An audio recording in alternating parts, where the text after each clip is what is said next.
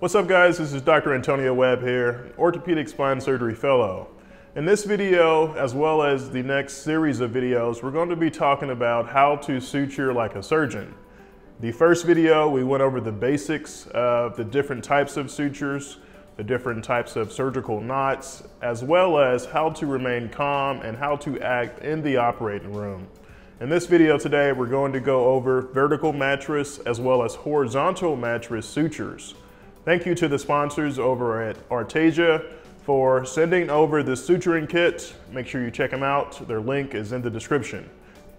Okay, so we have our needle driver here. We have our Adson pickup, our scissors, as well as our suture. The good thing about this suturing pad is that it can be used over and over again. Say for instance, you're a medical student or you're pre-med and you wanna practice suturing for, let's say the next six months.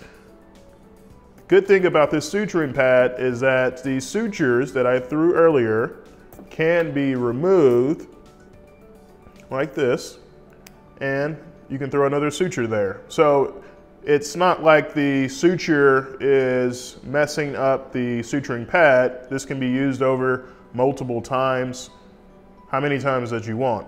So we have our Adson pickup, we have our needle driver, we're gonna take out our suture.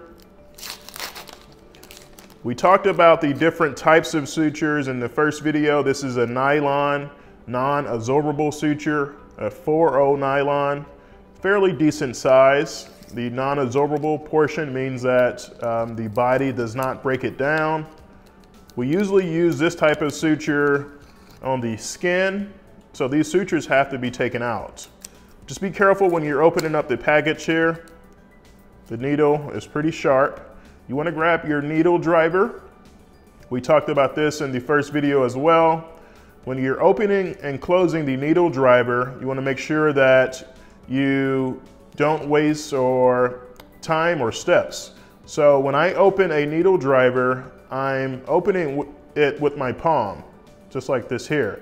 Some people start off and a pretty habit that a lot of students get into is to use the circle, the thumb in the circle to open and close.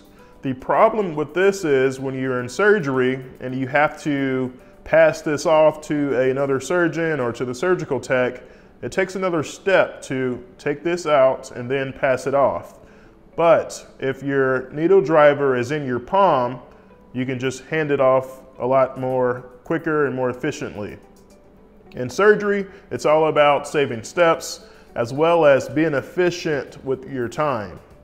So we have our needle driver, we have this suture here. When you grab this suture, you want to grab it two thirds of the way back you don't want to grab it close to the edge of the sharp part. You don't want to grab it too far back because when you throw your suture, that's going to affect how much of the soft tissue that you can grab. So I usually like it about two thirds of the way back and I like it to angle that way just a tad bit. Use your Adsons, they have teeth on the end of these here to grab the skin edge. You don't want to grab the skin edge too aggressively, like this here, like this, this, that can be very traumatizing to the skin. I usually use one portion of the teeth here to kind of just lift up the edge of the skin. And then we're going to place the needle a couple millimeters away. Mnemonic that we use uh, for this is called far, far, near, near. We're gonna do a vertical mattress first. So you wanna grab your suture, follow the course of the needle, it's curved like this, not straight up and down. You wanna pull it through. And I notice a lot of students when they first start off suturing, they tend to leave this portion here really long. That wastes a lot of sutures. Your other hand is way up here. You wanna be mindful of your space, making sure you're not contaminating yourself or others during surgery. So just leave a few centimeters there and place your needle driver in between these two edges here, the shorter edge, the longer edge of the suture. So right in the middle, and then we're gonna throw it around the needle driver twice. Once, twice. We'll do that again. Once, twice. So after we throw the vertical mattress, that's what we're gonna do. You want to grab your needle again, and this time we're going to go near. So this one's far, far. You want to go closer to the wound edge. So a little closer to the laceration or the wound bed. And we're going to take it in one bite and there. So this is a vertical mattress. We use this when we want to decrease tension on the wound edges, such as a large wound in a trauma situation, or if the patient has a really large wound and you're having trouble, such as this wound here, getting the edges to come back over again. Just as we talked about, the needle driver in the middle, you want to wrap it twice, grab the small edge, and then pull it through. Usually I switch my hands when I'm doing that, so I started off over here, my right hand goes the opposite direction. The second time, when you're throwing this, you just have to do it once. You don't have to do it twice. Grab the edge of that and then pull it through, switch your hands.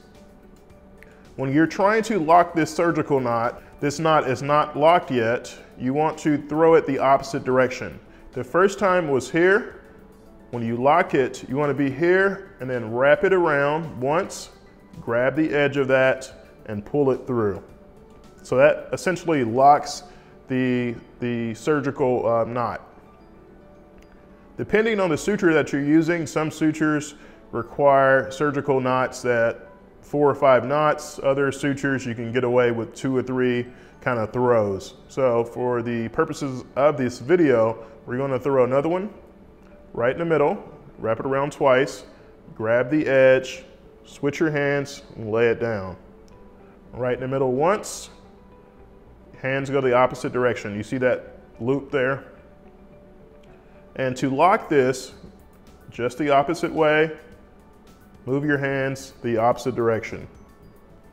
When you're cutting this suture, it's important to not cut it too short because your knot will be wasted. The knot can pull away from the skin and you don't want it too long. You're wasting suture. So I usually just cut it maybe a centimeter or two from the uh, skin edge. So that is a vertical mattress. We're gonna throw a horizontal mattress. It's pretty similar to the vertical. We use it to evert skin edges when the wound is, has a lot of tension, such as a large gap between the wound here.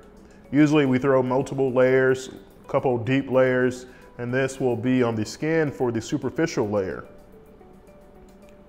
For this suture here, a couple millimeters away from the skin, we're gonna take it in two bites.